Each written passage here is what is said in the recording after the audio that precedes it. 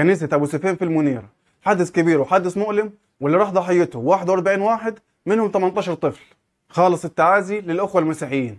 لكن كان في كم مشهد عايز أتكلم فيهم وللأسف بعض منهم مشاهد محزنة ومؤلمة. المشهد الأولاني الأطفال اللي ماتت واللي منهم ثلاث توائم. هو الموت في العموم مؤلم ومحزن لكن لما يكون في أطفال بيبقى شد وأصعب.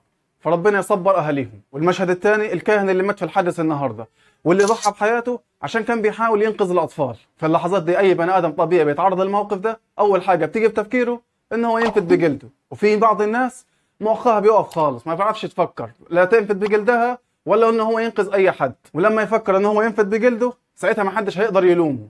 لكن الراجل فضل إن هو يقعد ويحاول ينقذ الناس وما يجريش. وبالفعل أنقذ ناس كتير لكن في النهاية توفاه الله. المشهد الثالث إن الحوادث دي والواحد ما يتمناش إن هي أصلا تحصل لكن في الحوادث دي بيظهر معدن المصريين. لأن في الوقت ده ما فيش حاجة اسمها مسلم وحاجة اسمها مسيحي. والمسلمين دخلوا الكنيسة في الوقت ده وحاولوا ان هم ينقذوا أي حد من الناس. وده فيديو لمحمد اللي كان بيحاول يساعد وينقذ أي حد من الناس.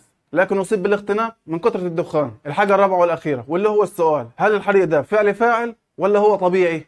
لأن في ناس كتير بتتكلم وتقول ده فعل فاعل وفي ناس تانية بتقول ده مجرد مس كهربائي عادي. لكن لما تيجي تبحث في الموضوع وتدور شوية هتلاحظ ملاحظة صغيرة. هتلاقي أغلب حرائق الكنائس في آخر أربع سنين هيكون السبب فيهم التكييفات والتوصيلات الكهربائية.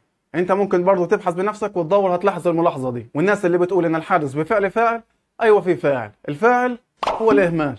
إهمال في كل حاجة. إهمال في صيانه الكهرباء تكييفات. إهمال حتى في وصول الأسعاف واللي وصلت أصلا متأخرة. فلما تيجي تدور على الفاعل فهتلاقي الإهمال هو الفاعل.